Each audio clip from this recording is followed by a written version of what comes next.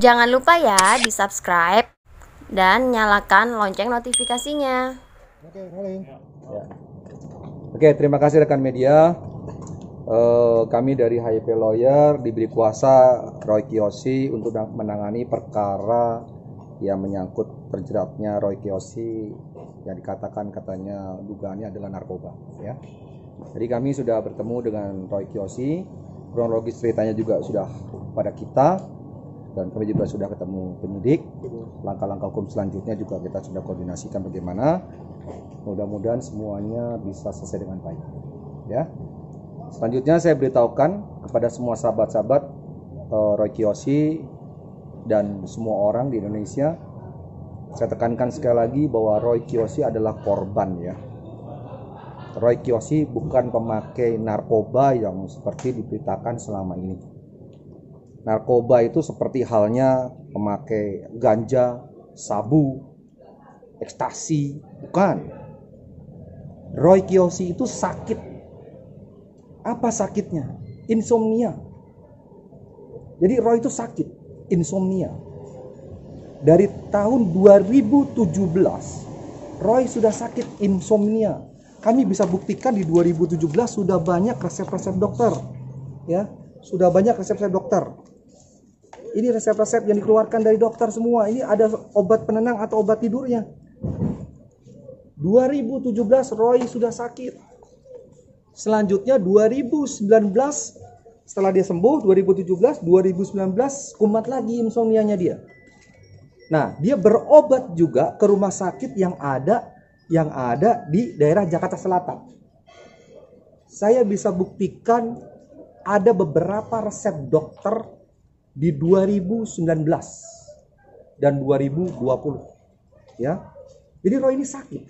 Dia tuh sakitnya insomnia tidak bisa tidur. Nah, di 2020 kejadian kemarin tanggal 6 karena adanya pandemi Covid di Indonesia, maka dianjurkan oleh pemerintah untuk semua orang berada di rumah membuat Roy itu tertekan dan stres berat. Karena tertekan dan stres berat inilah insomnianya dia itu kambuh lagi. Nah, pada saat kambuh inilah dia mencari obat tidur atau obat penenang. Dia tidak berani pergi ke dokter. Dia tidak berani pergi kaptot kapotek. Karena Roy itu orang yang penuh dengan rasa ketakutan. Paranoid. Dia tidak berani karena dia takut keluar dari rumah kena COVID-19. Maka daripada itu, Roy mencari obat di online untuk agar dia bisa tidur. Kenapa Roy itu membeli obat lewat online? Karena dia sudah hampir tiga hari dia tidak tidur. Begitu kasihannya dia. Tertekan batinnya dan stres. Tiga hari dia nggak bisa tidur. Nah selanjutnya dia mencarilah di Google ya obat tidur. Keluarlah namanya ini dia dia sepam itu yang dikonsumsi Roy. Dia sepam. Kalau Dumolit dan yang lain itu sudah tahun-tahun yang kemarin, tahun-tahun kemarin yang tinggal sisa satu butir, satu butir dan itu sudah expired. Yang dia konsumsi adalah dia sepam. Dia beli di online. Nah, sekarang kalau kita mau buktikan dia sepam itu dengan gampangnya kita tinggal aja cari di Google dia sepam. Saya barusan juga Google, saya buktikan sendiri. Dia sepam itu dengan gampangnya dibeli. Nah, tuh saya Google dia sepam beli. Banyak yang jual di sini. Ini sangat banyak sekali yang jual dia sepam. Dan toko-toko toko-toko nih ya di sini saya baca nih ada Tokopedia, ada Bukalapak, ya, ada Shopee, ada Alo Dokter, ya. Dan masih banyak lagi nih.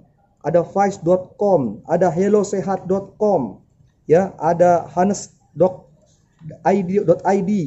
Ini banyak sekali yang jual dia sepa. Banyak sekali yang jual. Semua orang bisa beli. Bisa mengakses ini semua. Permasalahannya apakah tahu di dalam obat diazepam tersebut itu mengandung kandungannya itu dikatakan dari mana? Saya tadi saya pelajari itu ada mengandung nitrazepam.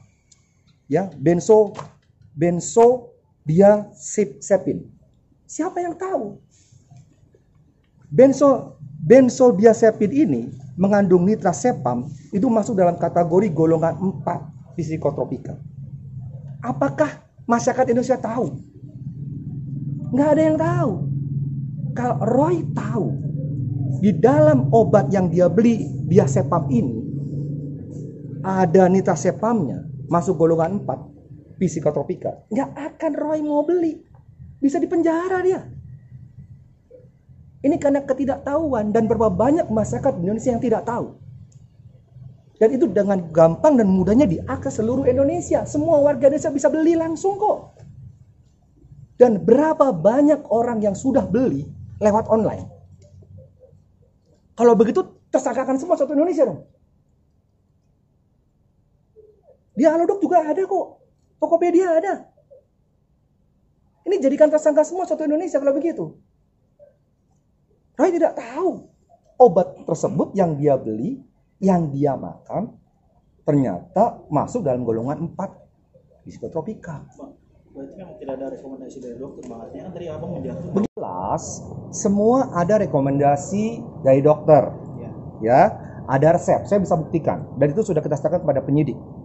Tetapi 2020 di bulan Mei sebelum tanggal 6 kejadian kemarin, Roy membeli tidak memakai resep dokter. Betul, karena apa? COVID-19. Anjuran pemerintah untuk selalu ada di rumah. Roy takut pergi ke dokter, dan dokter pun juga sekarang paranoid juga ketemu klien kan. Kami pun juga takut juga ketemu dokter. Karena kita takut sama-sama COVID-19. Nah, karena Roy itu taat dan patuh atas ajuran pemerintah, maka dia di rumah. Google lah dia mencari obat tidur. Keluarlah dia sepam ini. Selanjutnya, dia mencari dia sepam beli di mana. Keluarlah banyak rekomendasi. Dari situ dia beli. Nah setelah beli dia konsumsi. Kenapa dia konsumsi? Karena sudah tiga hari tidak tidur. Bagaimana rasanya badan kalau sudah tiga hari tidak bisa tidur? Hancur badannya. Tapi bang obat Dia sakit. Dia sepam itu sama sama obat yang dulu dia konsumsi nggak sih bang? Beda. Kalau di konsumsi itu kan ada resep dokter, ya kak, ada dumolid dan lain-lain kan. Itu dasarnya ada rekomendasi dari resep dokter. Nah karena dia tidak berani ke dokter, tidak berani ke apotik, maka dia online belinya kan. Fungsinya sama untuk penenang, itu untuk tidur, obat tidur fungsinya sama.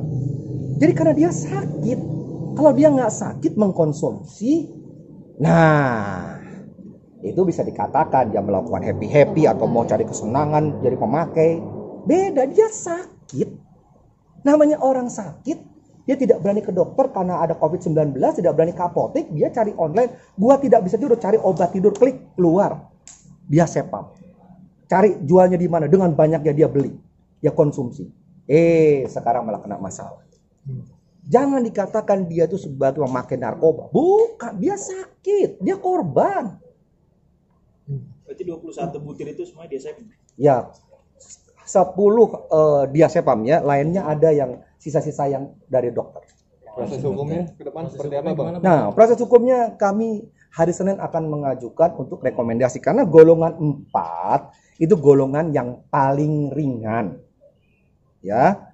Nah, jadi karena kami sudah ada bisa membuktikan kepada penyidik, ada resep dokter memang dia sakit dan lain-lain, maka hari Senin kami akan mengajukan untuk di assessment. Ya. Mudah-mudahan dikabulkan. Setelah asesmen itu dikabulkan, maka ya sudah, berarti Roy akan direhabilitas. Akan ada pemeriksaan. Permasalahannya rehabilitas tuh apa? Roy tidak kecanduan kok. Wong dia 2020 baru beli akhir-akhir ini kok. Yang jadi permasalahan ada tidak bisa tidurnya dia ini yang harus disembuhkan. Bukan rehabilitas dia tidak kecanduan kok. Berapa banyak di Indonesia ini orang yang tidak bisa tidur? Banyak.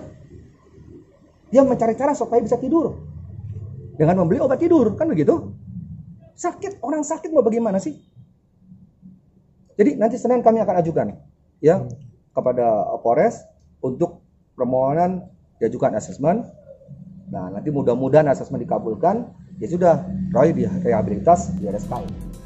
Jangan lupa ya di subscribe dan nyalakan lonceng notifikasinya.